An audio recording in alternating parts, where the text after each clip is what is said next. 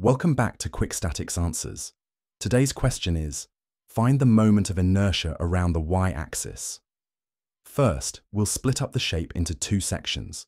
We'll use the following formula to find the moment of inertia of the shape, which means we have to find the area and distance from the centroid to the y-axis of each section. We will call that distance dx. The area of the first section is as follows, and the distance from the centroid to the y-axis is zero, since this section is perfectly symmetrical around the y-axis. The area of the second section is as follows, and the distance from the centroid to the y-axis is zero, since this section is perfectly symmetrical around the y-axis.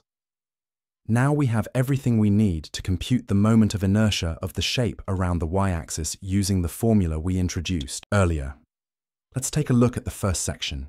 Because the distance from the centroid of this section to the y-axis is zero, the second term of this formula disappears, and all we need to compute is the base cubed times height divided by 12. This is a standard formula. The result is as follows. We will follow the same process for the second section, which produces the following result.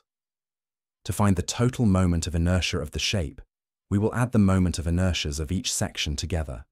This results in around 115 million, which can be simplified to the following answer. And there you have it, quick statics answers.